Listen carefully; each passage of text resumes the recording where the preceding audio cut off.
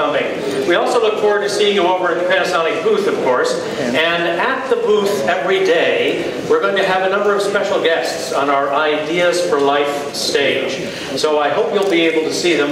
It actually starts tomorrow morning about 11.30 with a visit from a uh, intergalactic superstar from Star Wars followed on uh, Friday morning by three fabulous filmmakers, Oliver Stone, Baz Luhrmann, and Michael Mann. So please be sure to join us for those and many, many others. Now this afternoon we have a very full menu for you, but before starting, I'd like to introduce some very special guests who are here with us today. And if I may, first, Maria Costeira, who is the CEO of XpanD. Welcome, Maria. Thank you for coming. Mr. Jim Chabin, who is the founder of the International 3D Society. Jim, thank you very much for your great work. Mr. Stephen Roberts, Senior Vice President, DirecTV, our partner in 3D TV. Stephen, thank you. Mr. Masami Murata, President of Sanyo North America Corporation. Murata-san, lovely to see you. Mamoru Yoshida, who is Executive Officer of Panasonic AVC Networks Company. Yoshida-san, delighted to have you. Very much for coming. And today we will not have a formal Q&A session in this big group, but all of our speakers will be up front here after the event. You're welcome to come up and ask your questions then, so please feel free to do so. And now, please join me in welcoming our first speaker, Panasonic Corporation of North America's CEO and Chairman, Joe Taylor. Joe? Thank you, Peter. Happy New Year, everyone. Thank you for joining. And I'm just wondering, this is your 10th press conference of the day? Anybody still awake? Anyhow, uh, yeah, see, somebody is. I'll take a few minutes to briefly cover some strategic initiatives and the big picture on how Panasonic is evolving and extending the definition of consumer electronics. Shiro Kitajima, who's responsible for our consumer electronics business, will report on business trends and news and then Jim Sandusky, our consumer company sales head, will then introduce our newest technologies and latest products. First among our strategic initiatives is Panasonic's continuing leadership in 3D. Panasonic is focused on providing an entire range of 3D solutions from the CES 2010 Viera 3D Best in Show in your home to professional video used to capture 3D in the field. This is what we call our end-to-end -end 3D approach. And you'll see us extend this with new additions to our product lines that Shiro and Jim will explain shortly. In fact, we're even applying our 3D to our HD visual communication systems to do 3D video conferencing. And this demo will be the first of its kind at this show, so please don't miss it.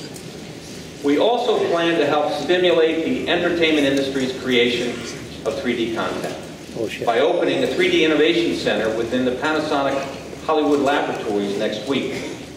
Strategically located in the heart of the entertainment industry, the center will offer 3D education for studio and industry professionals, including 3D shooting and editing techniques, as well as Blu-ray 3D authoring. Also, with 3D content in mind, Panasonic is pleased that the International 3D Society today announced the creation of an Asian committee within the society. The committee will focus on encouraging the creation of more 3D content in Japan, Korea, and China, where there's already strong interest in this business. We're confident that this will bring new streams of affordable, high-quality content into the marketplace. In addition, to content, there's also the matter of standards. Panasonic and a number of other organizations within the industry are actively working together to create a standard for compatible active shutter 3D eyewear. So it's not a matter of if, but rather when this will happen. Uh, and when it does, this will be transformative because eyewear interoperability, like content, will definitely drive growth. Thanks. Equally strategic for Panasonic this year is web-connected TV. Panasonic has been in the forefront in tapping the power of the internet to deliver the best user experience by designing applications specifically for your TV. This year, we will be able to seamlessly offer the customer a greatly expanded range of entertainment, information, and yes, even fitness and wellness applications. Jim and Shiro will tell you more about this as well. Now I'd like to take a few moments to tell you how Panasonic Worldwide is evolving. I'll start with the basics. Panasonic Corporation Worldwide is a 92-year-old diversified company. Roughly 50% of our revenue, our earnings, come from consumer electronics, like what you'll see at the show, as well as uh, home appliances. The other 50% comes from our industrial business, our B2B business, and our solution sales. Understanding the need to ensure a sustainable future, last year Panasonic made a key strategic change in direction. We reaffirmed our commitment to eco-ideas and also announced plans to become a leader in green business innovation, a goal that required us to greatly strengthen our green technology operations. So it's no coincidence that Panasonic set its sights on 100% acquisition of Sanyo Electric, a recognized consumer brand, which is also a respected leader in solar power and other energy sources like lithium-ion batteries. Now, linked together, the consolidated power of the two of us will enable us to meet growing needs for lithium-ion energy sources for the home, for electric vehicles, and more. As a footnote, I can report that around the world, Panasonic is quickly integrating Sanyo operations, and the U.S. is no exception. We have already started to consolidate facilities, beginning on the West Coast, like this office in Otay Mesa, near the San Diego border. Having our people work side by side is not only reducing costs, but it's also improving efficiency and synergies. Last year, Panasonic also invested $30 million in Tesla Motors, building on a multi-year collaboration to accelerate the expansion of the electric vehicle market. Panasonic is also Tesla's preferred lithium-ion battery cell supplier, and this is the cell we provide. Then Tesla takes this and builds it into a battery pack using their proprietary technology. It's hard to imagine that 6,800 of these little guys can power Tesla's Roadster sports car for up to 245 miles per charge. We can't say enough good things about Tesla. And Kurt Kelty, their battery technology head, will be speaking at our Eco Stage at the booth tomorrow afternoon. So please join, please join us to hear him. In a sign of things to come, our Enterprise Solutions Company recently kicked off a major green project involving Infineon Raceway in Sonoma, California. To support their sustainability initiatives, Panasonic partnered with Infineon to create a major solar electric power generating installation.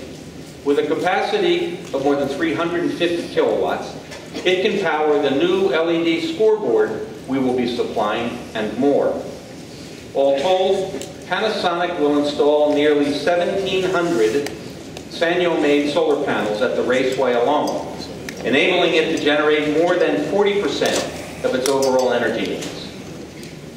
And to emphasize our own corporate and management commitment to sustainability and environmentally advanced practices in the United States, we are today announcing additional new goals for the next three years including doubling the sale of our leading energy-efficient consumer electronics, nearly halving again our CO2 emissions at our North American headquarters, and expanding our environmental education and community outreach programs.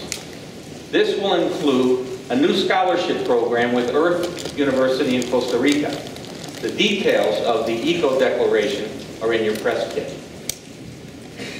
Beyond green business, another important new direction for us is our ability to tap into the wide range of Panasonic's expertise to meet the needs of some of America's largest enterprises.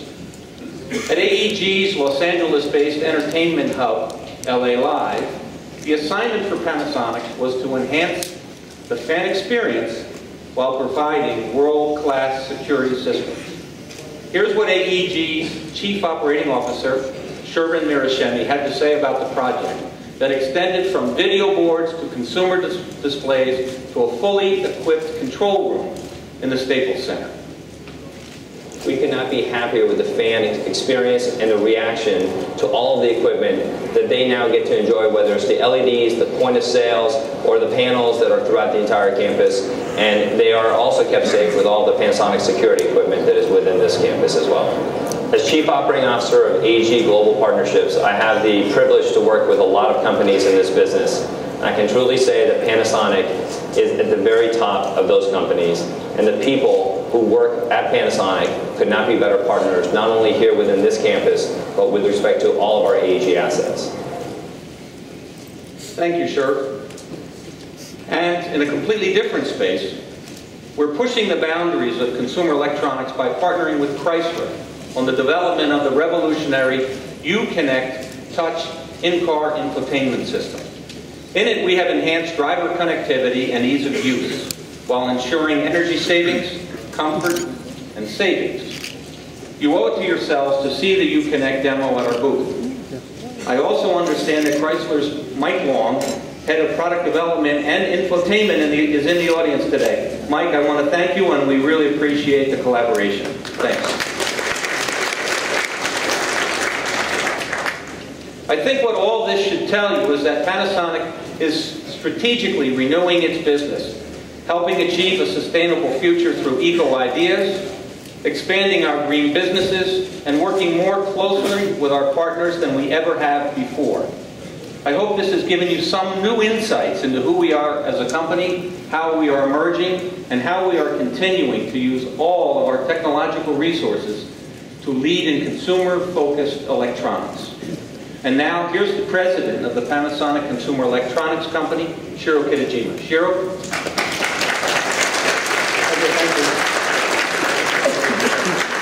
Thank you very much for coming here, and uh, I wish you a very happy New Year. And for my, to my Spanish-speaking people, friends, uh, feliz año nuevo, gracias por haber venido. Well, now I'll tell you more about our 3D and IPTV news in just a minute. But first of all, I'd like to give you a quick peek at Panasonic's holiday sales. Despite a fairly tough market, overall, this was a good holiday season for us. In fact, for December, sales ran 30% ahead of last year. And the Viera TV, in particular, was 45% ahead. I want to acknowledge here that Viera TV success story began right here in Las Vegas with the Best of Show Award it won at the CD Show 2010. For a long time, Panasonic has been emphasizing large screen TVs with 3D and IPTV features, but this is the year the market came to us. We experienced huge demand for 54-inch, 58-inch, and 65-inch full features 3D and VR cassette. In fact, due to unprecedented demand for the 65-inch VT25 Viera model, some channel partners sold out by the middle of December.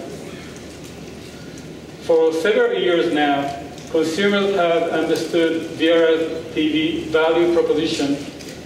Viera offers neoplasma technology, including fast switching phosphor and max moving picture resolution, and the widest viewing angle and the overall top performance, all at a great price point. But now, the 3D and web-connected features varying larger size, screen sizes is even more compelling. Panasonic expects that 3D will gather momentum this year as more great content becomes available and will grow rapidly over the next three years. As you can see, we project that by 2014, TVs with 3D capability will account for 32% of total TV sales worldwide. Last year, continuing our end-to-end 3D approach, Panasonic was the first major brand to launch a consumer 3D camcorder. About, and this year, we'll continue to expand the line by adding five new 3D models. Panasonic wants to uh, make 3D content generation affordable and easy for the average customer. Here is someone who has already start, started introducing 3D to America's next generation of filmmakers. Mr. David Roemer, CEO of Campus Movie Fest. David, thanks for coming. Need everyone to do me a favor. When uh, they asked me for this camcorder back, can you say they never gave it to me? yeah, little secret. Uh, we started Campus Movie Fest 10 years ago when we were students. Didn't know what we were doing, but we thought that everyone had a story that was just waiting to be told. So we gave all the students, 500,000 of them so far, laptops, camcorders, training, everything they need to make their own short movies. Get to go to about 100 different colleges and universities doing this. Thousands of students at each school that line up to get their gear. I think it's pretty unforgettable for them to get to see their movies up on the big screen at the time of their lives, especially for our winners who don't forget it any quicker. We've seen a lot of different camcorders along the way over these 10 years. Though.